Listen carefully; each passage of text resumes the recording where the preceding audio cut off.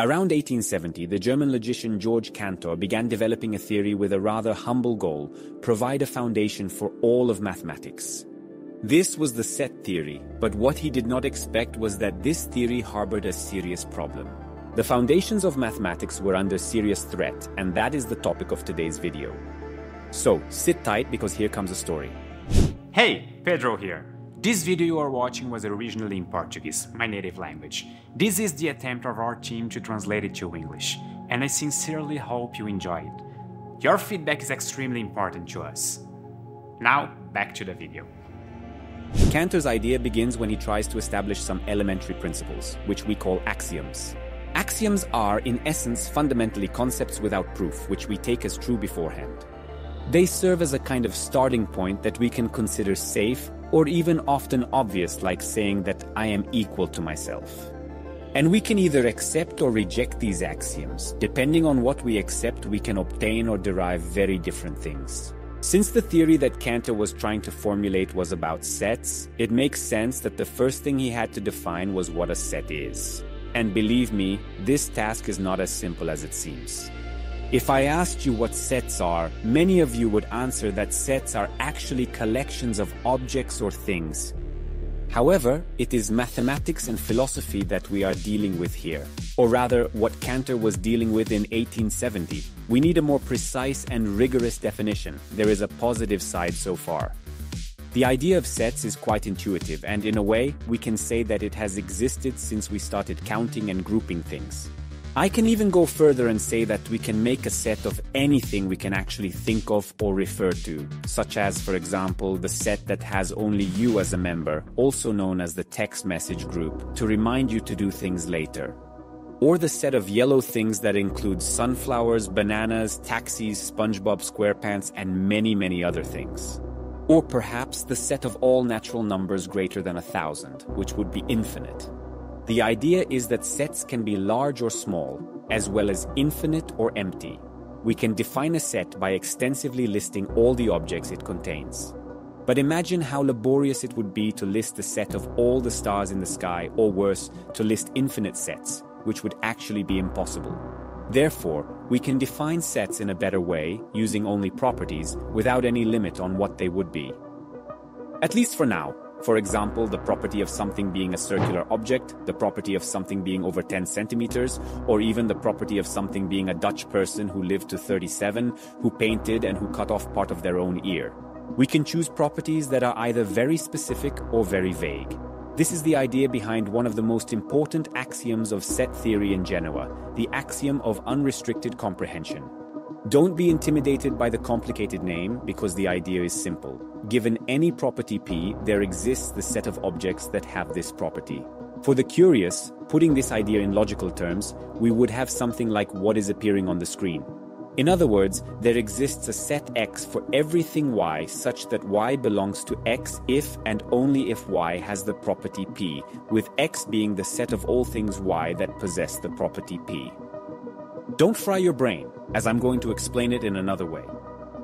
Describe the set of all European countries as every X, such that X is a country in Europe. Portugal, Spain, Germany, France, and all the other 46 countries. And, besides this axiom, there were other ideas, such as the notion that sets with the same elements must be equal. In other words, the set that has the second planet of the solar system, the morning star, and the evening star is equal to the set that contains only Venus, since they are just different names for the same thing. Furthermore, the order of components within the set does not matter, so the set consisting of, for instance, cat and dog is equal to the set dog and cat. And it also doesn't matter if the elements are repeated, because the set cat and cat is equal to the set cat. So, let's suppose that I will call the set containing cats and dogs A. So, if we want to take only the elements of A that are animals that bark, we would have a new set made up, for example, only of dogs, which is what we call a subset of A, and we can also make sets that have other sets as part of them.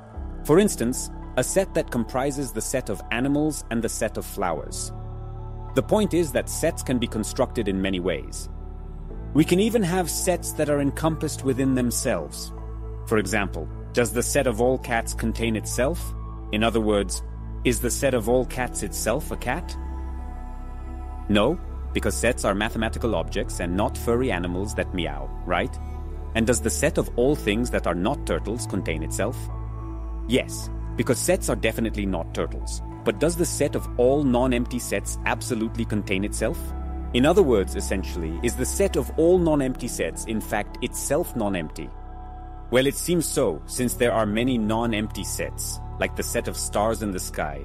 In other words, essentially, the set of all non-empty sets has several different elements, and therefore, it is not empty. These were some ideas from the naive set theory that Cantor was developing.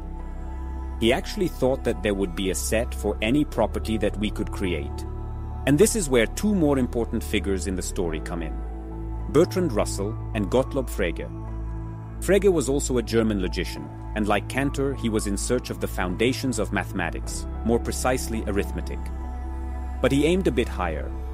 He wanted to show that all fundamental arithmetic could be derived from logic and a bit of set theory, and nothing more. And this great project of his life was called logicism, and his theory depended on the proper functioning of set theory. And this is where Russell comes into the story. Russell looked at all this and thought, well, if sets can contain themselves and I can actually construct a set from any property, then imagine a set formed by all the sets that do not contain themselves. This set of all sets that do not contain themselves would have many members. For example, the set of all cats, the set of all flowers, the empty set, and many more.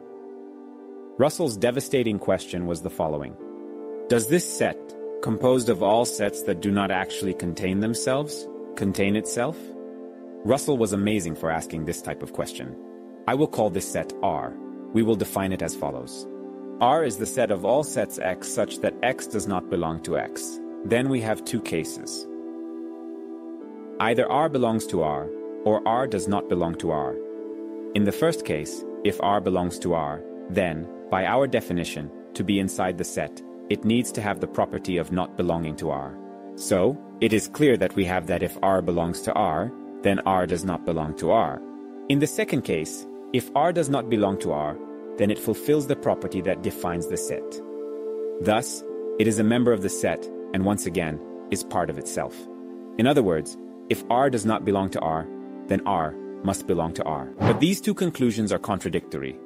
We have that R belongs to R only if it does not belong to R, and vice versa. And here you might blow your mind, because that's exactly the idea. This is the famous Russell's paradox, and if you don't understand it, don't worry the conclusion is paradoxical. The idea is the same as other self-referential paradoxes, those that refer to themselves such as the Barber paradox or the liar paradox. Then, around 1902, when Frege was about to publish his book Basic Laws of Arithmetic, the result of all his work and his ambitious logicism project, Russell sent a letter explaining the paradox. And this would make Frege's theory collapse. But even so, Frege honored his commitment to the truth and added an appendix at the beginning of his book, where he presented Russell's paradox, warning that the entire theory proposed in that book had a fundamental problem. It's an honorable attitude, we have to be honest. In this era, especially on X, people pretend they are always right. But things didn't end there. Mathematics still needed a foundation, and various solutions were quickly suggested.